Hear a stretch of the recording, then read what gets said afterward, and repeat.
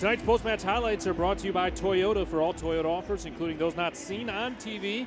Go to Toyota's official website for deals at buyatoyota.com. And the highlights, Paul, got started with FC Cincinnati. Austin Berry, the Cincinnati native for the second consecutive week, was able to put the ball in the net on a header, and we'll get to the highlights here in a moment. And here it is on the restart, the set piece. Great, great serve by Tyler.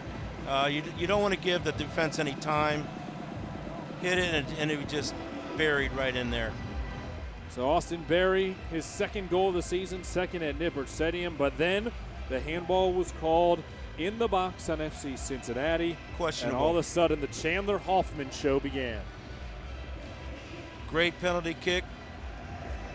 That was his first of three.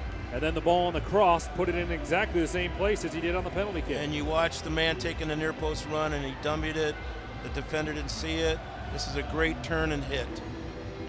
So his third was probably his best. Chandler Hoffman came off in the second half. And then Pat McMahon late. The header. Two headers tonight. McMahon brought FC Cincinnati within one, but unfortunately not enough for the home club as they fall by the final score of 3 to 1. Impressive to see the support from the Bailey tonight as they waited till the men walked off the pitch to give them big cheers. Tonight's moment of the match is brought to you by the Cincy Brew Bus, Cincinnati's original and premier craft brewery, winery, and distillery tours, and it is Pat McMahon's goal. It gave a spark to the club late and some momentum, as you just heard Ryan Martin talk about, to try to carry them into Toronto. Yes, he did. Once again, he uh, came right to the box. Great service.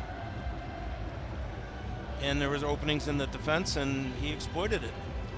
So, once again, our final score from Nippert Stadium, Louisville City 3, FC Cincinnati 2. Our next broadcast of USL Soccer on WSTR and ESPN 1530 comes your way two weeks from tonight.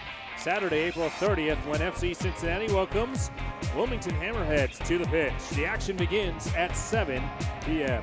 For sideline reporter Lindsey Patterson, my broadcast partner Paul Rockwood, our producer David Ashbrock, and production manager Mike Bacon, I'm Tom Gelehrter saying so long. Thanks for tuning in, and good night from Nippert Stadium.